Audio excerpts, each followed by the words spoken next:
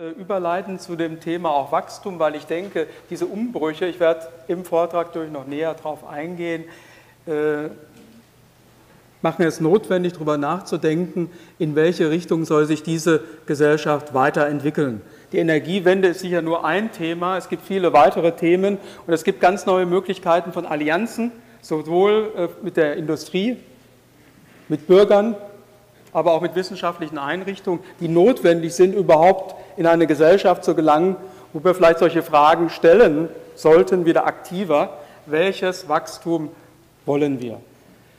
Ich denke erstmal, Nachhaltigkeit ist ein ganz zentraler Faktor. Wir selber haben mal eine Studie gemacht und haben einfach mal Märkte uns angeguckt, äh, und zwar nicht nur erneuerbare Energien. Wir haben das für die Hypovereinsbank gemacht und haben eine Umfrage in der Süddeutschen zu dem Thema gehabt und speziell äh, Marktchancen gesucht, und das kommt jetzt hier nicht so deutlich raus, für kleinere und mittlere Unternehmen. Wir haben ganz bewusst auch mal andere Märkte mit eingebaut und machen gerade aktuell eine neue Umfrage mit 20 Märkten, zum Beispiel neue Bildungsmärkte. Denkt man vielleicht nicht so gleich dran. Oder äh, auch individuelle Gesundheitsprävention oder Gesundheitskonzepte für Entwicklungsländer oder Social Commerce und Nutzerintegration. Also wir haben bewusst auch Märkte genommen, die nicht zu den üblichen Verdächtigen gehören, sozusagen in der kleinen Szene, die immer weiß, mit mehr ressourceneffizient, sondern das ganzheitlich betrachtet. Dass es natürlich notwendig ist, Menschen äh, zu schulen, um die Möglichkeit zu haben, sich über Nutzerallianzen überhaupt zu beteiligen, in der Gestaltung, was gewünscht, Individualisierung, Trend habe ich genannt, wie sollen die Produkte aussehen? Also das gehört auch zusammen. Äh, und wir erleben das ja in der Facebook-Generation, dass zumindest einige sind, die Interesse haben, eben nicht nur hinzunehmen, sondern sie zu partizipieren und äh, teilzuhaben. Sie haben vielleicht verstanden, wir befinden uns in einer Zeit, ich möchte eigentlich gar nicht so gerne über große Worte machen, aber wir befinden in einer Zeit, wo Entscheidungen notwendig sind. Energiewende, andere Mobilität, auch im Gesundheitssystem, Sozialversicherungssystem und dafür werden Lösungen benötigt. Dafür braucht man Kreativität von Ihnen, von den Leuten, die betroffen sind, Nutzern, Bürgern. Und wie kriegen wir das hin? Wie kriegen wir solche Dialogsysteme hin, wo wir nicht die einen nur zuhören, sondern Bürgerbeteiligung? Oder beispielsweise ist ein Lieblingsthema von mir, warum gibt es denn nicht einen Verein vom BUND, Greenpeace, eine Nutzergemeinschaft, die sagt, wir wollen Elektrofahrzeuge. Und wir sagen dir, wir nehmen VW so und so viel ab und stellen dadurch den Absatz sicher. Also auch Bewegungen von der anderen Seite mit den neuen Möglichkeiten. Wir brauchen Bewegung in diesem Land, Wachstum für Nachhaltigkeit und neue Märkte. Ein paar von Ihnen habe ich gezeigt. Ich freue mich auf diese Diskussion und sage Dankeschön.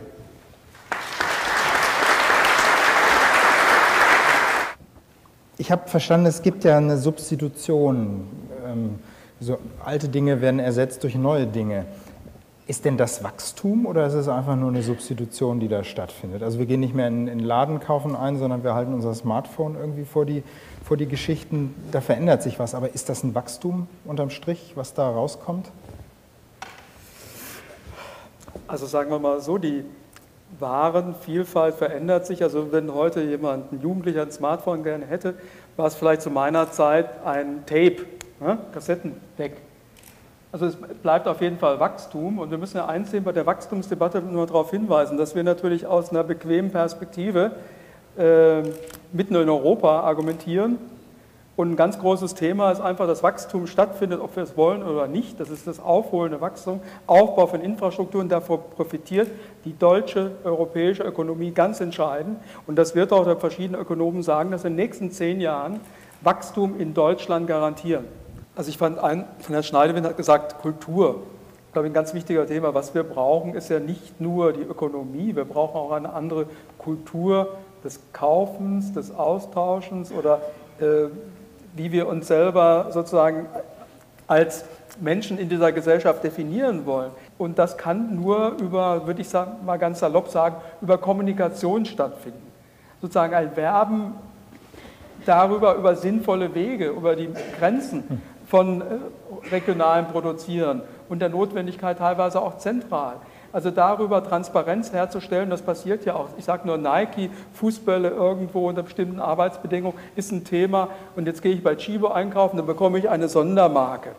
Da okay. werden nämlich äh, vor Ort die Menschen, die, die Kaffeebauern, äh, wesentlich höher entlohnt im Sinne von Fairtrade, äh, als es sonst möglich war. Also dass ich eine Möglichkeit habe, mich als Verbraucher äh, zu informieren und dann Entscheidungen zu treffen aufgrund meiner Situation, meiner ganz konkreten Situation.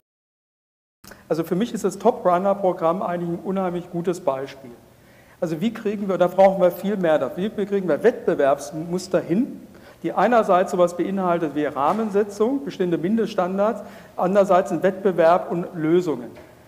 Ich sage das deswegen, weil wir Auseinandersetzung Öffentlichkeit brauchen über gutes, richtiges, falsches, angemessenes Verhalten und sozusagen mehr in Richtung Wettbewerbsmuster, Anreizsysteme, da ein bisschen stärker drauf. Das kann auch die Politik, also da hat die Politik einerseits Rahmensetzung und andererseits solche Möglichkeiten schaffen eines Wettbewerbs um äh, vernünftige Ziele. Also da würde ich sagen, da würde ich mir ein bisschen mehr auch erhoffen, das ist denkbar.